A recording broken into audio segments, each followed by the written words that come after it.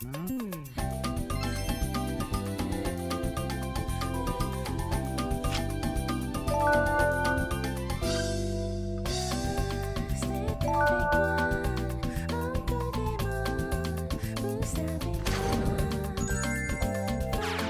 그럼 제일 먼저 채소부터 썰겠습니다. 저기 볼 하나만 주세요. 네. 그리고 양파도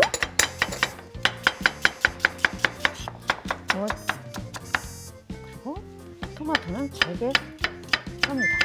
어, 페이스트가 되게. 네, 맞아요. 하나, 하나.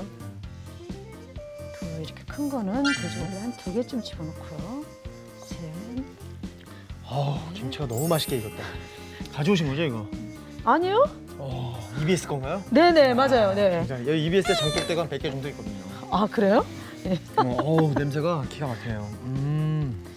자, 가져오신 양념인데요. 네네. 고춧가루 고춧가루 들어갑니다. 넣- 넣어주세요. 네. 좀 김치찌개 좀 빨갛게 되겠죠? 아 멋지게 넣으시네요 이것도. 그다음에 마늘.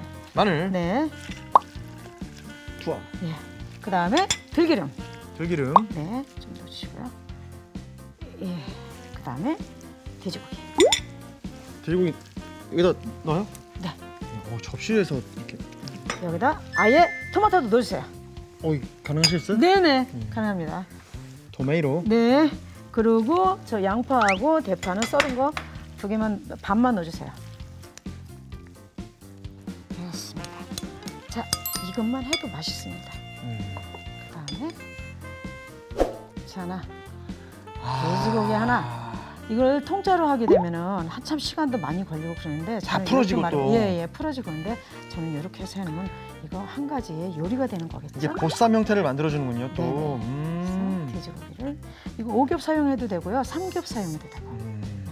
그래가지고 나머지 좀 지저분한 거는 밑에다 깔고 음. 고기에 모자라는 건 이런 거 밑에다 깔고 가생이로 싹 둘러앉힙니다. 이거. 비주얼까지 놓치지 않는 갓기월 네. 선생님의. 그리고 요것도 위에다 이렇게 마주 얹어 얹어주면 음. 이렇게 끓이면서 그죠? 네. 이 다시마에 하나 넣어놔서 아. 담가놨다 그물을 그냥 꺼내셔도 돼요. 아, 그래도 되겠네. 미리 찬물로 잘 우려내는. 네네. 채소는 이렇게 얇게 썰으면 빨리 한다 그랬죠 아까. 예, 예. 얇게 썰어주고.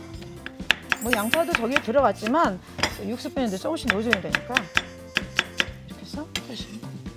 이것도 역시 육수 만들면 이제 다 제거해줄 것들이죠. 네네 그렇죠. 자, 육수를 아주 푹 냈습니다. 네 네. 아주 국물이 충분히 우러났다고 생각하시면은 자, 이렇게 야채가 네. 너무 으서지지 않게 채소가. 네. 기본 간을 해줘야 되겠죠. 국간장으로 한 스푼 네. 이렇게 간을 해주시면 이거를 이게 찜도 되지만은 음. 또 국물을 넉넉히 원하시면 육수를 밑국물을 좀 많이 부시면 되고요. 어. 그렇지 않고 난 자작하게 이렇게 쫙쫙 찢어서 밥에다 쫙 올려 먹을 거야. 그러시는 분은 좀 덜 부셔도 되고요. 예. 이 상태로 또 얼마나 끓여야 될까요? 이 상태로 이게 한 15분에서 20분. 요 음. 사이면 다 물러요. 아, 이 향하며 모양하며. 아, 냄새. 아. 자, 이렇게 삼겹살 김치찜이 완성됐습니다.